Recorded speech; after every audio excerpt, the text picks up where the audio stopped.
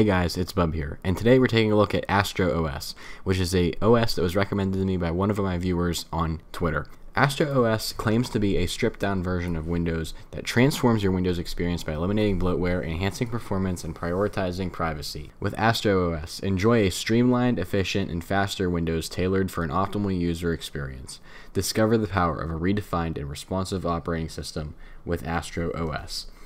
This makes a lot of bold claims, including no malware at all, and it's been scanned by Malwarebytes, Bitdefender, and Avast. It's malware free, and they're promising a lot here. Uh, the version we're taking a look at is Astro OS 1124H2, which I would assume is based off Windows 1123H2 because 24H2 is not out yet. Um, there is documentation here, including an installation guide as well, which installation guide should be just like regular Windows um, which takes you to a GitHub. There's also the GitHub for it, which I believe is the source code. Um, I could be wrong though. Docs, post setup, I don't know. Well, we'll look at that a little later. And of course, a Discord link. Full credit to these people, enderdev.com, um, and the person who recommended me to this on Twitter. Let's go ahead and jump over to VMware, where we can go ahead and boot up this ISO and take a look at this operating system.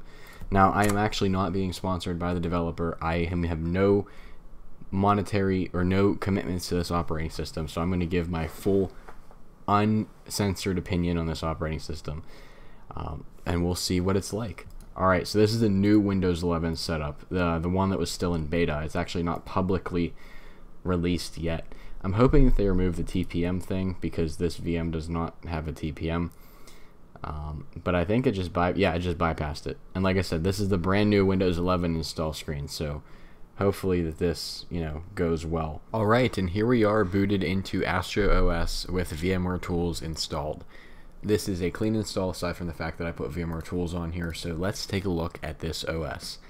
First of all, on the desktop by default, we have RecycleBin, Firefox, and install software.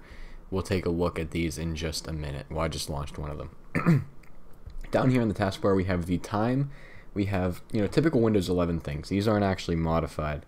And then we have, let's see, the, that, I just actually opened that. Windows Store, File Explorer, what is this? Task View, Search, and the Start menu. In the Start menu, by default, we have Settings and File Explorer pinned. While we're looking at this OS, just keep in mind this is meant to be a lightweight operating system, and so far, I'm seeing all signs of that. In pre-installed apps, we have accessibility, file explorer, get started, which I actually questioned why this was in lightweight OSs in a previous video, and it turns out someone said this is really baked into the operating system, like it's really hard to get rid of.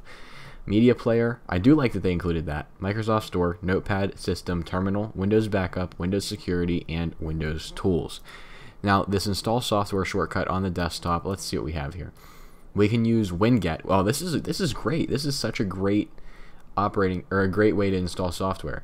We can get ungoogled Chrome, Firefox, WaterFox, Brave, Chrome, so normal Chrome, LibreWolf, Tor browser, Discord. I'm not going to read all of these, but I mean, there's a ton. You can download all kinds of stuff without even having to go onto the internet. That is crazy. And then we have Firefox.exe, which I assume is the Fire. Yeah, that's the Firefox installer because by default it doesn't come with a web browser, uh, but we're actually getting Firefox right now. Moving on, we have the recycle bin here, which of course is a typical recycle bin, but that brings us into the actual UI elements, so the, like the File Explorer. So File Explorer looks pretty normal for 23H2, except the uh, padding between icons over here is reduced kind of back to how it was in Windows 10. Missing an icon there for some reason. I've actually never seen this before. This is new. Actually, what version of Windows is this? I feel like this is 20... Yeah, this is a beta build. This is 24H2. Wow. So we are actually using an insider build for this OS. That's why I never saw this before. Like, I've never seen this screen, and I was very confused. Very confused. Alright let's take a look in this PC. So we did install Firefox, so it's not stock anymore. So stock with Firefox and VMware Tools is using 8.3 gigabytes. That's honestly not that bad. I was expecting worse considering the fact that the ISO itself is 4.73 gigabytes, which is significantly more than some other smaller lightweight operating systems. But yeah, that's that's really nice that they're using 24H2. I mean, that it's a glimpse into the future of Windows here. Um, and it, it really is true to the name AstroOS 24H2. I'd be curious to know if they're going to plan to update this to the final release of 24H2. In Windows Update, by default, is it activated or do they disable it? Because I know typically uh, updates can break these custom OSs. So let's see if it can actually pull updates from the internet. Now, granted, this is an insider build, so it may not actually find anything if it's fully up to date. Yep, it appears that it can pull Windows updates. That is actually pretty cool. This build was compiled on that's a good question. I don't actually know because it appears to have made those folders when I um, installed it. I'm actually not sure when these were created. But I did notice there is a windows.old folder here. So it appears like at one point this was like probably 23H2 and then they did an ISO upgrade. As for RAM usage and CPU usage, we are I gave this 8 gigabytes of RAM and a I think a 2 core processor. Um, we are actually using 100% of our CPU right now. A 10700K, two cores. Uh, now we're starting to come down. I don't know what it was doing.